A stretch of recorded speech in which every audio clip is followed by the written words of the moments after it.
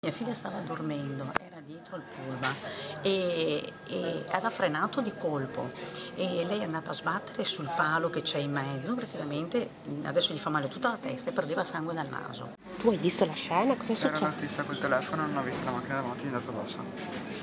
Stava parlando? No, stava giocando. Ce l'aveva in mano. Conducente della corriera era al cellulare, non con un auricolare, stava proprio chattando, forse addirittura giocando. Ci sono studenti feriti e spaventati, due autisti di linea all'ospedale. La corriera è quella delle 6.47, linea Padova-Bassano.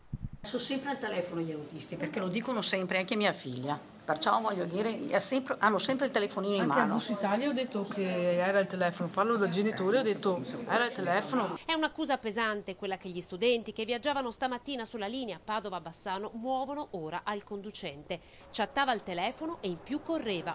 Hanno detto che correva anche forte questo autista oggi. Quanti ragazzi sono feriti? Qui ce ne sono quattro attualmente.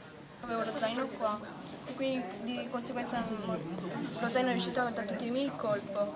Qui mi sono fatta un pochino meno male. Visibile la collera dei genitori che al pronto soccorso accanto ai loro figli ci raccontano tutto. Hanno diritto di avere un servizio che portano i ragazzi da casa alla scuola in sicurezza. Non si può occorrere o avere il cellulare in mano, non si può. Ogni volta succede sempre questi problemi qua. Ogni volta, o li lasciano eh, a terra i ragazzi o non si fermano, sempre un casino. Suo figlio si è fatto male? Sì, ho dovuto andarla a prendere a scuola perché non sta bene.